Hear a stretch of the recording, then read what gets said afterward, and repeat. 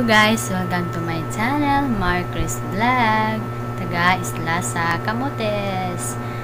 But before anything else, mag-intro muna ako.